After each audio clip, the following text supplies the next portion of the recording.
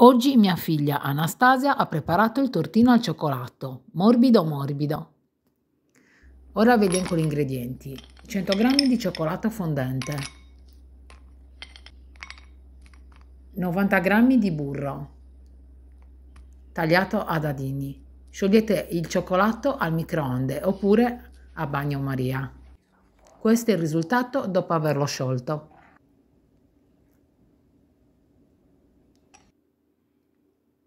Mettete tutto dentro una pirofila. Poi aggiungete 80 g di zucchero semolato, girate tutto con un frustino e aggiungete due uova.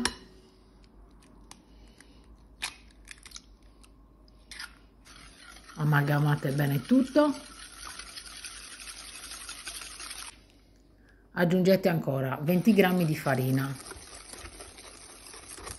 Mischiate bene fino a che sarà assorbita tutta la farina. Poi imburrate dei pirottini e passateli un po' anche con il cacao in modo che non si attacchi il tortino. Mettete in ogni pirottino un po' del composto. Poi mettete tutto su una teglia da forno e cuocete a 180 gradi per 12 minuti. Se vi piace la ricetta commentate anche con una sola faccina, grazie. Liberate i tortini quasi subito dalla, dallo stampino, poi metteteli in un piatto e spolverateli con lo zucchero a velo.